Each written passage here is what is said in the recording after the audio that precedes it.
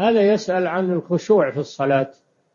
قال الله تعالى قد أفلح المؤمنون الذين هم في صلاتهم خاشعون وقال وقال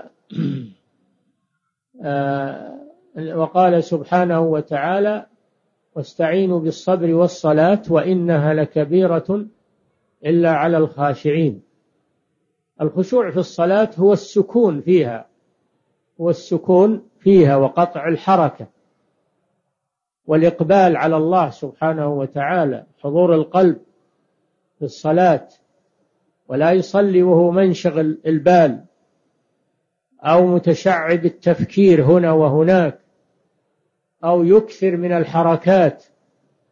فالخشوع في الصلاة هو حضور القلب حضور القلب. وعلامة حضور القلب انقطاع الحركات. بيديه ورجليه وجسمه. هذا علامة على الخشوع. أما إذا كان كثير الحركة والعبث هذا دليل على عدم الخشوع في الصلاة. والخشوع هو روح الصلاة. الصلاة التي ليس فيها خشوع كالجسم الذي ليس فيه روح. فعلى المسلم أن يحضر قلبه في الصلاة ولا يدخل في الصلاة وهو مشوش الفكر. يدخل في الصلاة وهو هادي البال حتى يقبل على الله سبحانه وتعالى. هذا يسأل عن حكم حمل الخطيب للعصا في خطبة الجمعة.